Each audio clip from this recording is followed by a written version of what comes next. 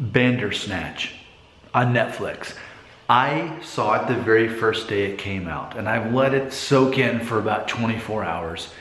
And here is my response to it. And by the way, if you haven't seen Bandersnatch yet on Netflix, then don't watch this video because I'm definitely giving away the ending, or at least my version, my perception of the ending. So please do not continue watching this video. This is only for people who've already seen it and want to explore this a little bit better.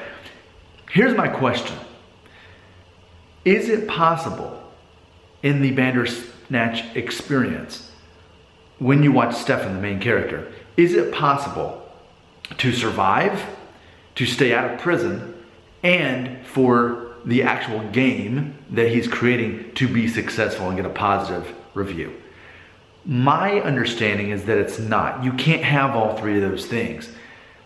Based on my experience of the Netflix interactive movie special, what I experienced was that if your game ends up getting a positive review, and I say your, I mean, it's funny, I'm meaning Stefan, but it's so interactive that I almost feel like it's me, the main character Stefan.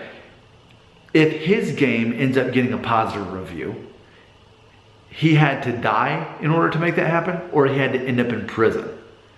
But I have yet to see a version of this where he actually survives, stays out of prison, and ends up with a positive review. It's as if he had to sacrifice his own life or his own freedom, therefore becoming uh, in prison, in order to get a positive review on his game that he's creating. Am I wrong? Am I right? Because I went through Bandersnatch the first time, and then it gives you the option to go to the end credits or to make a decision in hindsight and do it. So I kept going back and back so many times until it wouldn't let me. And so I saw different endings to it, but none of them ended with a positive review of his game without him dying or ending up in prison. Is it possible? Because I've yet to experience that. Can anyone share that with me? I'd love to know what you had to say right here in the comments.